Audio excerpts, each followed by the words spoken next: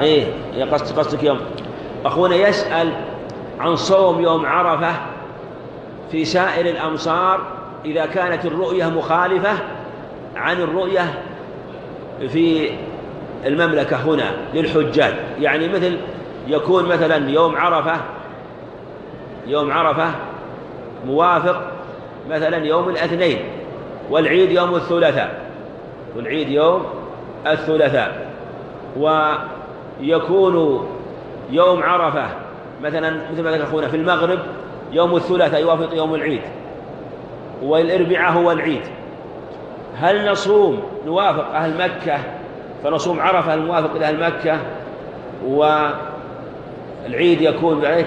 أو نصوم يوم الثلاثاء الذي هو عندنا يوافق يوم عرفة والعيد يوم الثلاثاء. نقول الصحيح أنكم تصومون على رؤيتكم لكل أهل بلد رؤيا. في يوم عرفة عند في المغرب مثلا إذا كانت إذا مثلا رؤي الهلال في المملكة هنا ورؤي في المغرب واختلفت الرؤية. مثلا تأخرت الرؤية. فيه تأخرت الرؤية.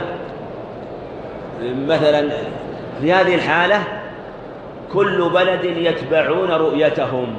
كل بلد يتبعون رؤيتهم فإذا رؤي في المغرب مثلا يوم الثلاثاء إذا كان يوم عرفة يوم الثلاثاء وفي مكة عرفة يوم الاثنين والعيد في مكة يوم الثلاثاء والعيد في المغرب يوم الأربعاء فنقول تصومون يوم الثلاثاء ويكون عرفة يوم عرفة حقكم وفضله يوم يوم الثلاثاء.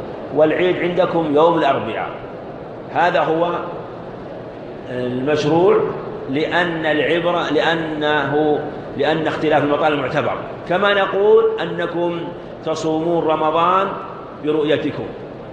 فلأهل كل بلد رؤيته إلا لو فرض أن الرؤيا اتحدت فهذا وهذا بعيد. وهذا بعيد ولا يكاد يقع. هم لا حاجة إلى اتحاد الرؤيا كما قال أهل العلم. كما لا حاجة إلى اتحاد الرؤيا ولا لازم لها في الحقيقة. وهذا هو الذي عليه الصحابة رضي الله عنهم.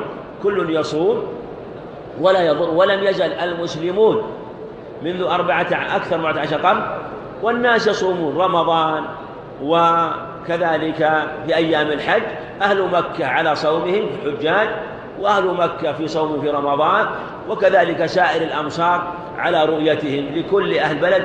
رؤيتهم وتقدم التوبيخ أن لأهل كل بلد رؤيتهم على حديث ابن عب... حديث ابن عباس في قصة عكرمة لما أرسلته كريم لما أرسلته أم الفضل رضي الله عنها في حاجتها إلى معاوية. فهذا هو الصحيح وهذا هو الذي عليه الصحابة ووقع خلاف في مثل هذا. فتصومون يوم عرفة الذي هو يوم التاسع الذي عندكم وهو يوم عرفة في حقكم. هذا هو الأكمل والأفضل. وهذا يجري في أشياء كثيرة. نعم.